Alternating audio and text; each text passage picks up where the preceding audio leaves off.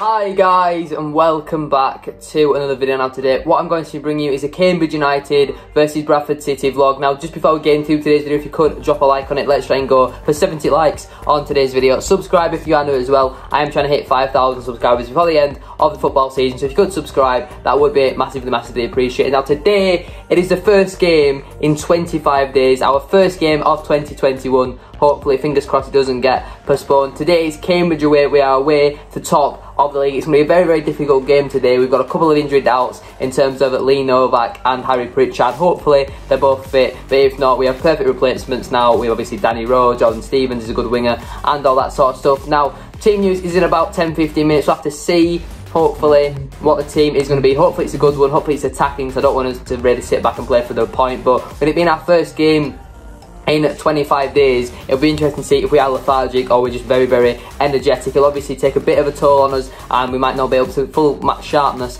and all that sort of stuff. So it might take us a little bit to settle into the game. But yeah, make sure you leave a like and subscribe and let's get on with today's team news. Before we get on to the team news, actually, I just want to point out that yes, I am recording on my phone. My camera still doesn't work, so for vlogs, for the time being, whilst we're in lockdown, I can't go get it fixed, um, the vlogs will have to be on my phone. Unfortunately, the quality shouldn't be, you know, it's not the end of the world, but it'll just have to do for now. I guess there's nothing I can really do until lockdown's over and I can go get my camera fixed. Team news is now out then, and this is how the Bantams line up. It's a 4-2-3-1. Lee Novak and Harry Pritchard both don't make the squad. They're both not fit. The team then is Hornby in goal. Finn Cousin Dawson, Anthony O'Connor, Paudie O'Connor who's the captain, and Connor Wood make up the defence. Levi Sutton and Elliot Watt as the holding midfielders. Billy Clarke on the right. Callum Cooke in the number 10 position. Gareth Evans out on the left hand side. His fourth league start of the season. That leaves the main man, the new signing, our New bagsman up front, Danny Rowe. Unfortunately, there is no Lee Novak today, so it is Danny Rowe's chance to lead the line and hopefully bag on his debut. On the bench, and that leaves Will Huffer, Niall Canavan, Clayton Donaldson, Jordan Stevens, Tyler French, Rumarn Burrell, and Kian Scales. Only one of our new signings is starting, but the rest of them are on the bench. It's a pretty strong team, to be fair. I know Cambridge, they've got Wes Hoolahan, and Paul Mullin and a couple of other good players starting. So it's going to be a very, very tough game today. I'm still going to stay with my 1-1 score prediction. I'm going to go with Danny Rowe and Harvey Knibbs to score for Cambridge.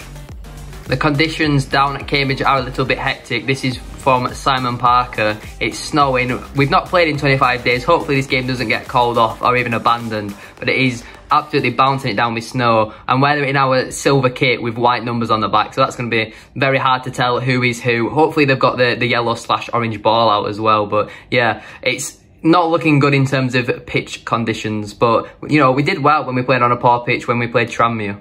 Okay so the laptop wouldn't connect to the internet but we are now underway. I missed the first 40 seconds. So I know that there was no uh, BBC Radio Leeds coverage for away games while we are in lockdown, but there also appears to be no home coverage. There's no coverage from the home commentators. And we've got it turned on, so who knows what's happening now.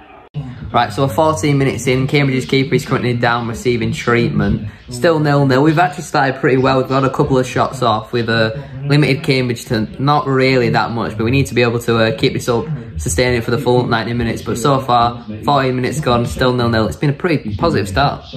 It looks like the Cambridge keeper is coming off. He's holding his shoulder. He looks in a bit of pain, so it can only be a positive for us if they're having to bring their backup keeper on because 99% of the time, the backup keeper is never going to be as good as the first choice keeper. He's not even got his gloves on. He looks like he just got out of bed. He dropped his gloves on the floor. He doesn't even. He looks like he doesn't even have a clue what day of week is. Connor Wood's got the ball on the left hand side here, looking to try earn something.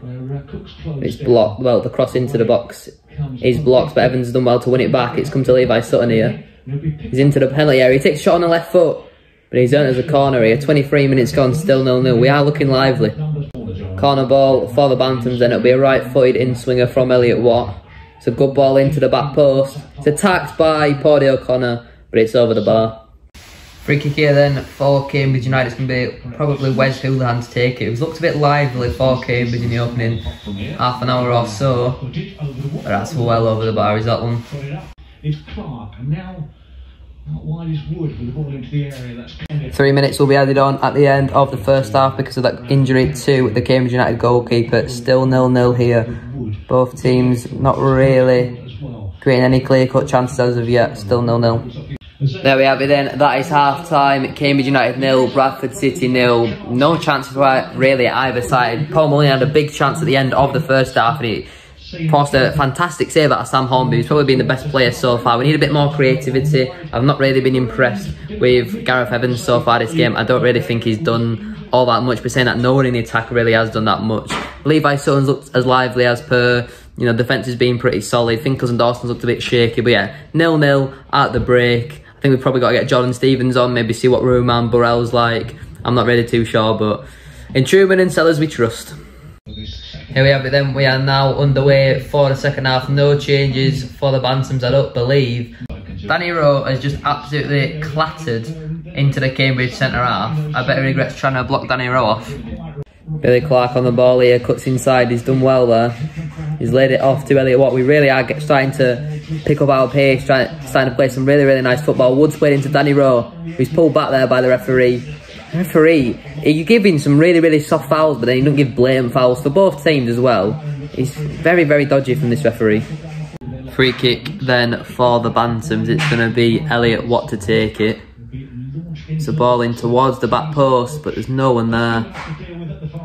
Actually, Gareth Evans to put a bit of pressure on there, and he's done well to win as a corner there. Still nil-nil, 21 and a half minutes to go.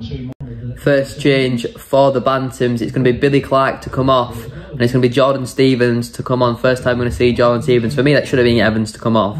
Evans, once again, he's not done anything in the Bradford shirt, but there's just less than 20 minutes to go. Now let's see what Jordan Stevens can do. There's going to be a minimum of three minutes added on at the end of the game. It's been pretty much all Bradford in this second half. I'd, I'd said at the start, you know, I'd take a point. This point, it's going to be another nil-nil because no one likes a boring nil-nil. It's not been that boring in the second half, to be fair. There's been chances, but there's still time for either team to nick it. Two and a half minutes still to go. We've got a free kick and the three minutes is up. It looks like we are going to be drawing nil-nil away to top of the league, which is something I would have definitely taken at the start of the game. You know, against top of the league, you always got to take a point, especially when we're, we are down where we are. I believe that means we've dropped down to 20th, but there we go. That is the full-time whistle. No complaints from me. It's a shame we couldn't quite nick a goal. If either team deserved to win that game, it was definitely us. It was pretty even in the first half. Paul Mullin had a big chance in the first half and he didn't take it. The second half, though, we did have numerous, numerous chances to go on and win the game, but unfortunately, it wasn't to be. You know, we, we were tiring as time went on. It was interesting that we only made one sub throughout the whole game. You know, a couple of players weren't up to the standard. I thought Finn Cousin Dawson, Gareth Evans, players like that, they just weren't really up to it today. You could definitely tell that we had 25 days off and we weren't quite up to match speed for the whole game. Danny Rowe looked very, very good, very, very promising, looks very strong, not scared to take a shot on, which is something that we've needed the past couple of years at Bradford City. But yeah, guys, that is where I'm going to leave today's video. If you have enjoyed, a like would be massively appreciated. Let's try and go for 70 likes. As I said at the start of the video, that will be absolutely class. Subscribe if you are new as well. I am on the road to 5,000 subscribers, trying to hit that before the end of the season. We move on to Southend on Tuesday, who I believe have lost to Mansfield Town today. Timothy Dieng, former Bradford player, also got sent off in that game, so he won't be available for Tuesday. We move on to them. Hopefully, we can pick up another three points. But if we play like how we did today against any other side in the league, we'll win more than we will lose. You know, it's top of the league. You can't really complain about getting a point away from home. I'll see you all in the next video. Peace.